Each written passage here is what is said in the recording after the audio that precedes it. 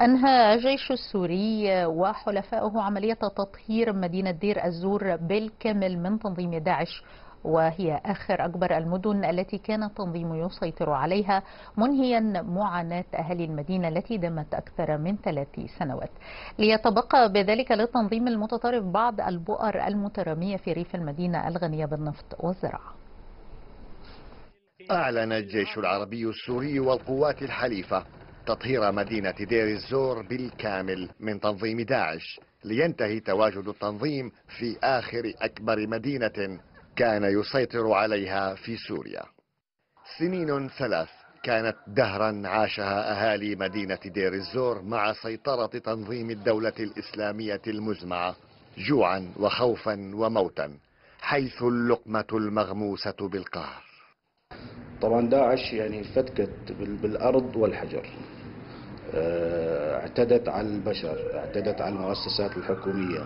اللي عاشوه دير الزور كتير صعب مثل ما حكيت لك على مستوى الكهرباء ما كان فيه لأنه تحالف ضرب محطات الكهرباء. فيضطروا الناس يعني اللي مثلا اللي يحمل المي على كتافه بالعبارة بالدمجانات أو بالسطل أو كذا معارك قاسية. خاضها الجيش السوري وحلفاؤه ضد داعش.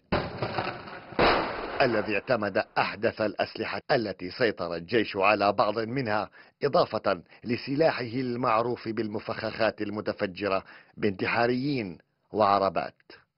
معركة تحرير دير الزور هي الأهم في معركة البادية السورية حيث توجت هذه المعركة بإنهاء وجود داعش في مدينة دير الزور والآن تتجه القوات لإنهاء وجود داعش بشكل عام في الجغرافيا السورية من خلال إكمال تحرير مناطق دير الزور.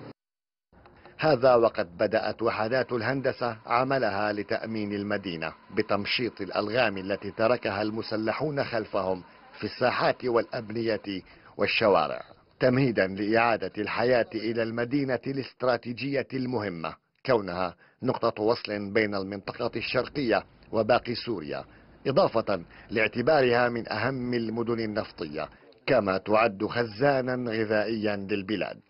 أهمية دير الزور كإنجاز عسكري هو بمستوى استراتيجي لأنه أنهى وجود داعش في أكبر معقل بشري واقتصادي ليعتمد عليه في تأمين احتياجاته العسكرية وأيضا لأنه فتح الطريق أمام القوات السورية للوصول إلى مركزه في جنوب الحسكة لإنهاء وجود داعش وتطويق بقايا التنظيم.